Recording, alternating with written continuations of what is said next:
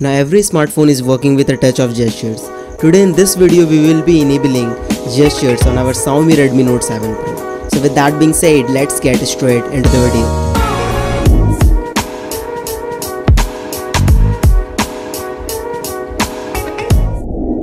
So for enabling gestures, go to settings, then select full screen display and then under that you will get two options, buttons and gestures. Just enable gestures and here you go. Now touch gestures will be enabled on your device so you can use it flawlessly on your device. So that's it for the video guys. If you like this video give it a huge thumbs up and don't forget to subscribe to my channel for more awesome videos like this. Catch you guys later on the next coming video. Till then a peace out and bye bye.